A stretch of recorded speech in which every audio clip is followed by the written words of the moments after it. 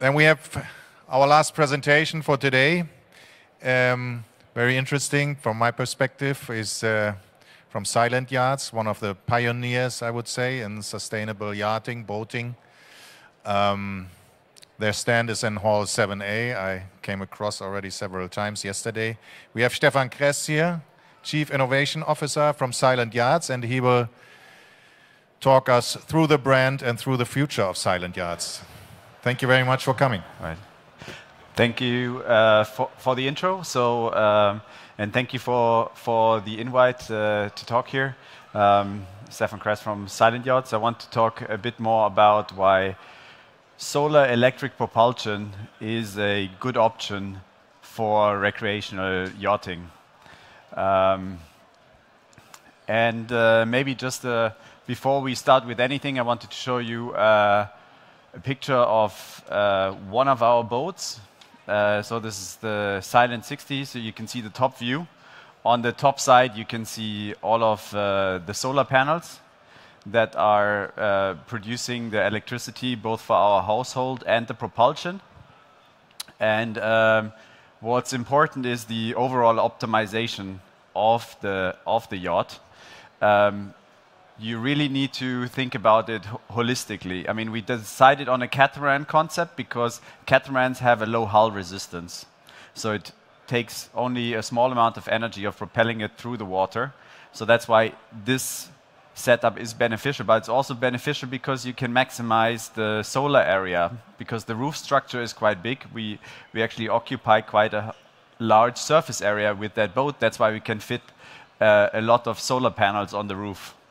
And all of this optimization that only makes it possible to actually have a solar electric propelled yacht. And uh, another thing that we learned over the years is how to tweak all of the components that they're actually working correctly. And uh, we can learn a lot from like residential solar applications and uh, maybe something from uh, racing catamarans. So there are lots of things to learn from other areas, but then there's also a lot of learning by doing, um, which we've done over the years. Um, just my background, um, I've worked in, uh, in research, next generation uh, so solar and renewable energy technologies, and now working with Silent Yachts on, the, on uh, mostly the drivetrain sides and the new technology. Um, Silent Yachts uh, actually started uh, as more or less a project of uh, the founder uh, couple, uh, Heike and Michael. They've been, uh, let's say, boaties or, or yachties all, all, their life, and they've realized that actually powering your vessel, your, your yacht, is actually quite tedious. Either you have quite a low-powered alternator, you have to run the generator, and uh, then they came across uh, solar, and they actually realized it's a great way to power your boat. Um, and, and I'm sure by now, like many of you at your home, you might be powering your, your house, uh, at least uh, partially, also uh, with, with the solar technology that you have uh, solar panels on your roof, and you, you can see at home that actually you can power, power your house with solar. So wanted first to start why solar is actually a good idea. Um, in my opinion, solar is the ultimate energy source because it's actually where most of the other energy sources are derived because like our energy source is the sun, all of the energy actually comes via solar radiation to Earth. All of the other effects like wind and tidal, there are secondary effects. You need to heat up the like the soil in order to generate wind. You need this differential. The same is for you could say tidal, uh, well, sorry, tidal is a bad example. No, like waves. Waves is a good one. Like this is actually a secondary effect. If you say uh, solar is your initial energy source, then actually wind is a secondary, and uh, and waves is actually uh, a third order effect. So everything is coming after, but the ultimate source is actually solar. So we have gigantic amounts of solar available and that's why I think it's good to tap that energy source. Um, you can also see that it's rather a good idea uh, when you look at a map of the solar irradiation on a horizontal surface on Earth, and you can see that the Mediterranean and the Caribbean, they actually get a lot of they get a lot of solar. So it it is quite viable to power the yachts that are in the Mediterranean and the Caribbean to power them by solar so, solar energy. And um, the, I think the great contribution uh, of silent yachts and also of uh, Heike and Michael actually has been to demonstrate that a solar-powered yacht is actually a possibility. So uh, what you can see here on the left-hand side is the Solar Wave 46. That was the uh, the first like solar-powered yacht, and they've been cruising uh, around with this boat on uh, on rivers. Uh, I think they've been on the Rhine, definitely the Danube, and also in the Mediterranean with this uh, solar-powered catamaran. And they've not only powered the household with it, but also like all of the propulsion. So they've they've demonstrated that actually cruising and living on board a solar-powered catamaran is possible.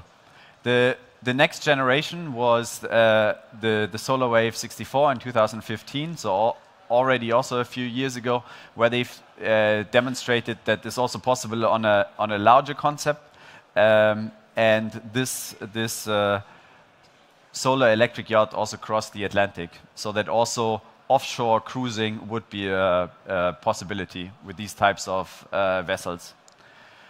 Uh, from then on, um, we continued uh, the development of uh, solar electric yachts. So we launched the Silent 55, which is a slightly smaller version.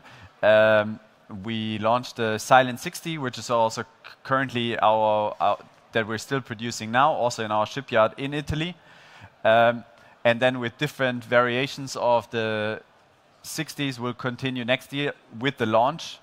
What I'm really excited about is the Silent 80 tri-deck. It's a very, uh, I mean, it's a very spacious boat that's like a, a, home or like a villa at sea that is uh, self-powered and then uh, the year after will be the launch of the Silent 120 that's currently in build in Turkey. Um, here you can see also like our current range again. It's the consists of the Silent 60, 60 foot catamaran, Silent 80, and Silent uh, 120, and then the smaller tender boat and essentially an electric partially foiling rib. Um, about the silent drivetrain. Our objective is to have a self-sufficient yacht that is uh, that is just run by the solar. But there might be occasions when you're it's heavily overcast or like your consumption is very high that you would need uh, additional power than you would have available to compensate this, we actually have, we don't have this, only have the solar array that's feeding the battery pack and storing the uh, solar energy that we've gathered over the previous days, but also uh, a generator. At the moment, it's a diesel generator because it's quite proven uh, technology, but in the future, this can be a micro turbine or a fuel cell if it's uh, hydrogen or methanol. So um, this can actually be, be, be changed arbitrarily. And um, what's not displayed here, but of course the battery pack is also supplying all of your household. Um, and what's most important to me um, is actually that the boat, under mostly like all circumstances, it is quiet. That's why our range is also called silent. It's not only that we're environmentally friendly and we're primarily using renewable energies, but uh, we're also doing this in, in, in a silent way, meaning that even if you run your air conditioning, you don't need to run the generator because you have in, in the battery packs you have as much energy as in about three fully charged big Teslas, like the, the, the, the, biggest model. So we have around 300 kilowatt hours. So you can definitely run all of your household air conditioning for multiple days just off the battery. You will not have to uh, turn on the generator at night which I always found, even on sailing yachts, because my background is sailing, I always found it quite annoying, to be honest, to choose between the cabin being hot or the cabin being loud. Actually, on a, on a, on a silent yacht, you can actually, it can be silent and it can be cool and nicely air conditioned at night. Um, so, um, well, this is this is more or less the setup uh, that we have, and you can think about like of the battery pack as our storage and buffer. Uh, this actually allows us to have uh, different types of uh, propulsion uh, that you could call this way. One is like the solar electric, in, in a sense that we take the solar energy, maybe it's buffered a little bit in the battery, and it's going to the propulsion. This is very quiet because there is uh, an electric engine that's only turning at, let's say, 500 RPM is a very quiet engine. Uh, and uh, you could say that at slow speeds, the boat, like when you decrease, further decrease and decrease the speed, you can actually go infinitely. You can go an infinite distance because the, you're uh, generating uh, energy with the solar panels and you aren't using uh, uh as much uh, on, the, on the propulsion. But of course, the higher you choose your speed, the faster you're going to use up the energy that you've generated via solar. Uh, the next is what you could call like battery electric, which I think a lot of uh, um, yacht makers are, are, offering here. So you can plug in your boat, you can charge it with the, for example, with the shore power, and you go electric to the bay. You come back to uh, to the marina, and you recharge it. But having said that, most like we usually don't plug in our boats, which is also nice for, for some marinas because the actually the electricity in the marina is quite expensive. So we we're just like when we come to a marina, we might have a dock there, but we, we're not plugging it in because we have our generation on our roof. Uh, and some of my friends, like that are captains in uh, Palma, I mean, they're using, uh, they, they have big boats, like a 30 meter, 40 meter, but they have an energy bill of 3,000 euros in the in, for example, Club de Mar in Palma, um, which we, we don't have that expense because we have our generation on our roof. Um, of course, you can also charge it via your generator, which might be a wiser option sometimes in ports because it, the electricity is actually more expensive. Um, but our primary way to charge the batteries is via solar. Uh, the last one, which is a good, uh, good method of going uh, like to go like during the night to do uh, like for example from south of France to like Corsica also uh, is go to go diesel electric because we cannot store as much energy in the batteries to go at a at a relatively high speed overnight. So what we do in that case, we run the generator. The generator is uh, buffering into the batteries, and then the, the energy is fed to the uh, propulsion engines.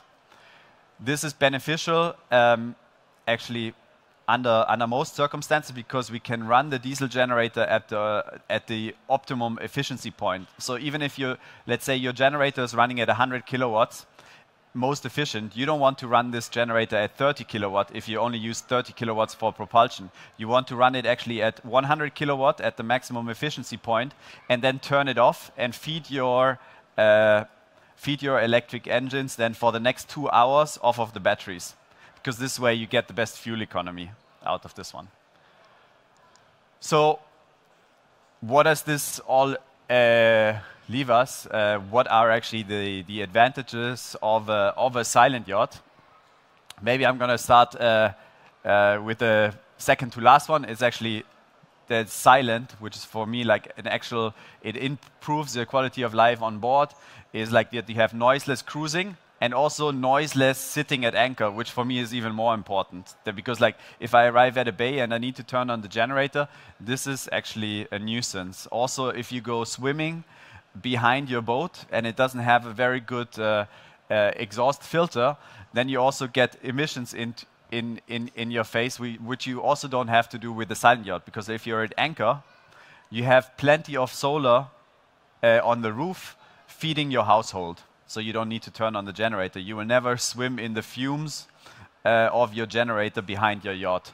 Uh, then you essentially have uh, unlimited range and other benefits like, like for example, like the, the uh, electric propulsion, which means like lower maintenance. I think like a lot of like, maybe some of you owned uh, uh, or own a Tesla and it's just like you do have lower maintenance for, for, for, for these types of boats because uh, a combustion engine is rather intensive in terms of like maintenance and usage. Um, now I wanted to dive into more of uh, our offering of our range. So starting with the with the Silent 60. Uh, this here is um, the Silent 60 that uh, we used to produce it in uh, in Thailand. So you can see the see the boat here. Um, it has 70 kilowatt peak solar on the roof. You can, depending on the uh, depending on where you're actually cruising, you can multiply your peak power because that's the maximum power that your solar panel can generate at noontime under test conditions. If you've installed your solar array correctly in typical cruising grounds, you can multiply that number by five to six hours in order to, to reach, like, in order to calculate how many kilowatt hours you're getting out in a day. Because in the morning, the, the sun is pretty shallow and it's, uh, it's straight from top at, at, at noon. And like this factor of five to six is taking into account that if the installation is done properly. Uh, so you arrive with around 100 kilowatt hours per day, which is again like your top of the range electric car has. You can fully charge, like let's say your top of the range electric car with this solar array. Um, we have up to four times that capacity. So for our largest capacity, you would be sitting if you arrive fully discharged, like let's say you, um, you do actually quite a large distance, let's say from one end of Mallorca to the other end of Ibiza, uh, and you come arrive with fully depleted uh, batteries, it would take you four days to recharge. But this is for like you completely discharged and uh, you have the biggest battery pack.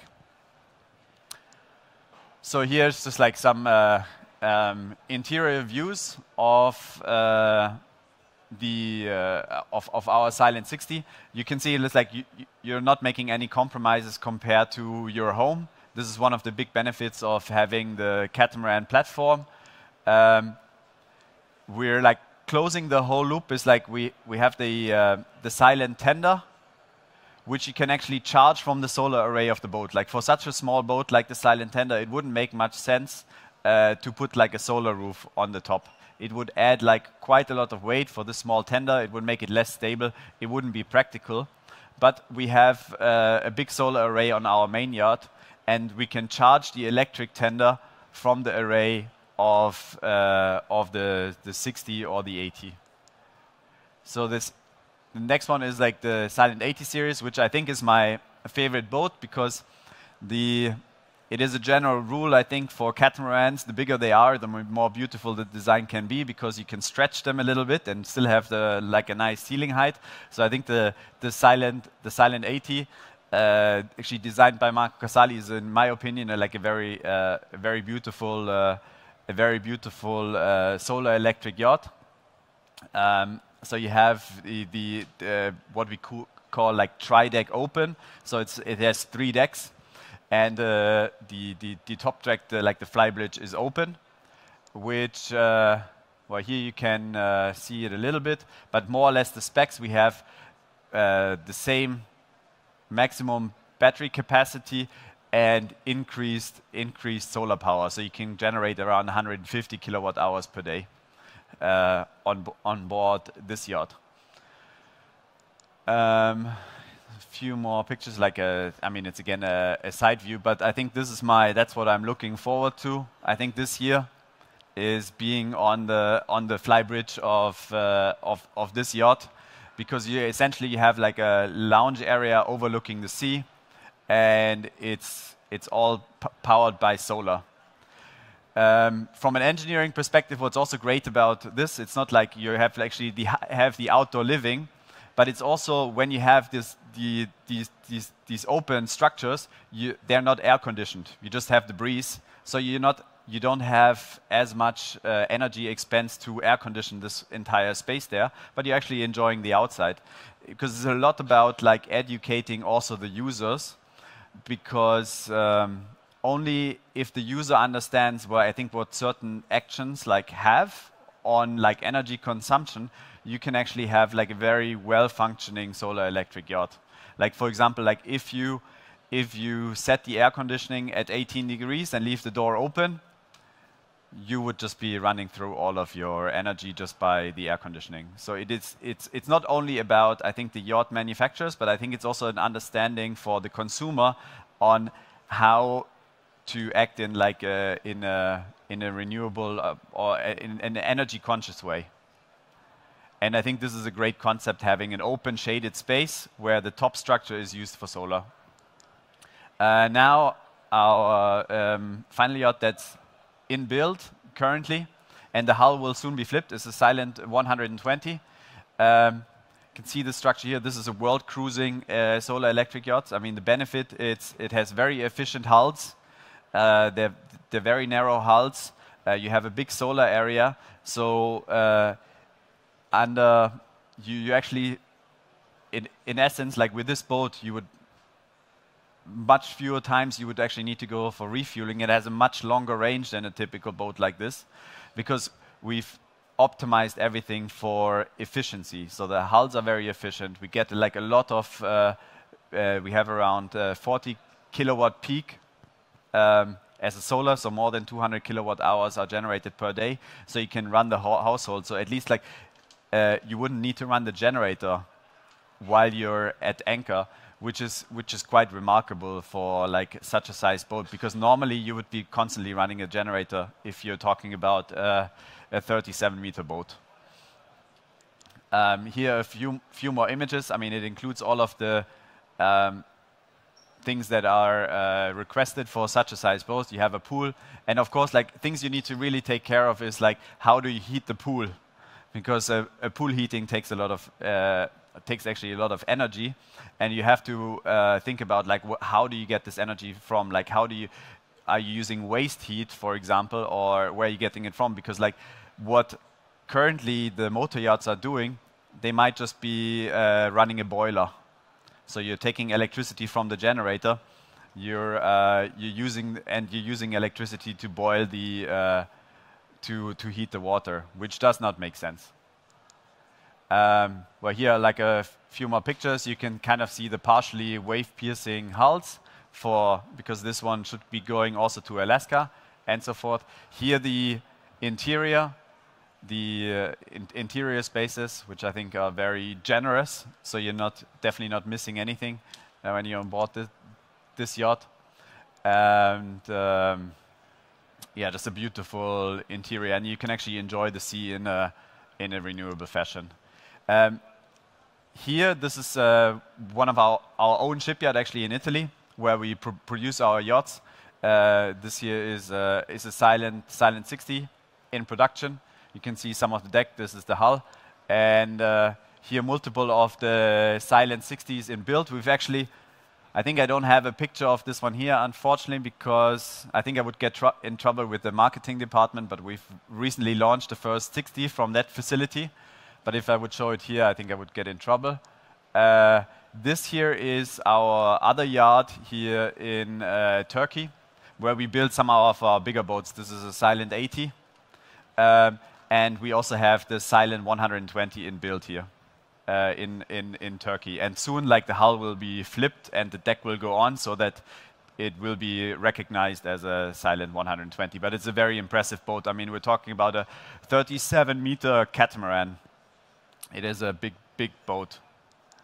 Um, so maybe the takeaways um, that I wanted to communicate is, uh, and hope uh, I hope it came across, is like uh, solar is by far the largest uh, renewable energy source on land, uh, on land and on water, especially on water because usually we have fewer clouds and uh, uh we, we, we have uh, fewer clouds and usually we're cruising in sunny areas, at least that's uh, for, for me. I think like further up north here, like people also like to go north, but predominantly we like to be in the Med, in the Caribbean and maybe French Polynesia. And also solar PV on land and also at sea, and particularly on sea, is the cheapest source of energy, of renewable energy.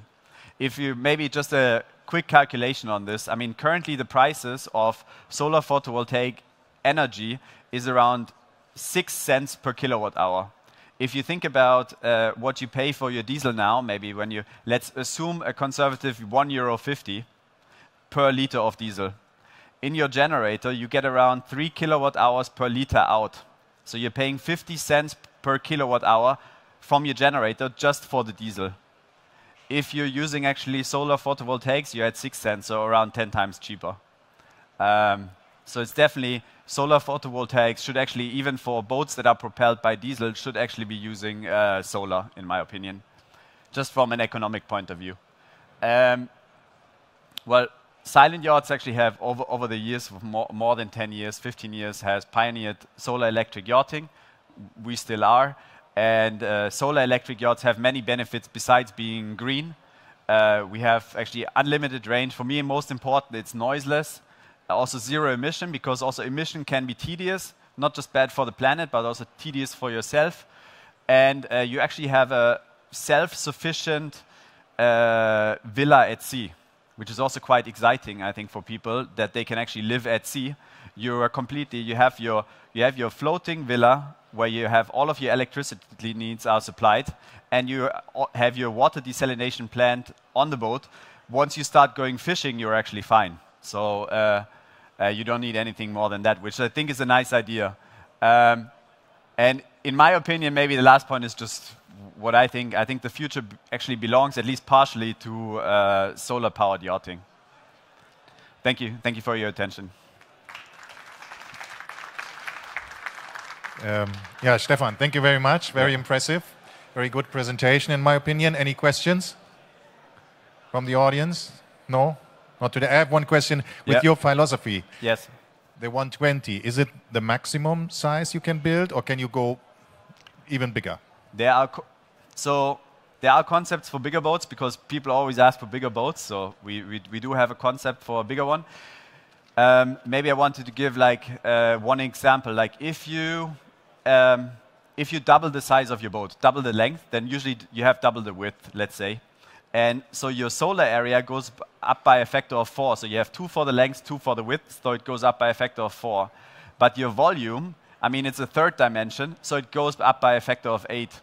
So that's why, like, your and your volumes, uh, like, or like your air conditioning needs scales with the volumes that you have. So it also goes up by a factor of eight. So it's harder to make a boat self-sufficient uh, the bigger you make it because the volume grows faster than the surface area that you have available for solar. So that's why um, we think there is a sweet spot. In my opinion, like the sweet spot is probably around like between 40 and maybe 100 footer, but this can always change with technology because that sweet spot might change once we have more efficient solar panels that might go to a bigger size that you can actually supply your boat uh, just with solar. Um, to like a bigger size. You can make actually the, the boat bigger. So it's constantly changing, but let's say Lürssen uh, can should probably look, look uh, you know, against some some other uh, area in which they are. They're looking at methanol, but does it hurt for Lürssen to add a solar roof? No. Yeah. Okay. Yeah. Thank you very much, Stefan. Yeah. There are no more questions. So this is uh, it for the day here at the Blue Innovation Dock. We see you tomorrow. We start again at 11, and then we have a very nice um, presentation. It's or like a show, nearly. It's like Shark Tank, if you know this, or Die Höhle der Löwen. So we have five nice startups here tomorrow morning at 11 with a jury and presentation. So um, I'm looking very forward to this. Thank you very much. Bye bye.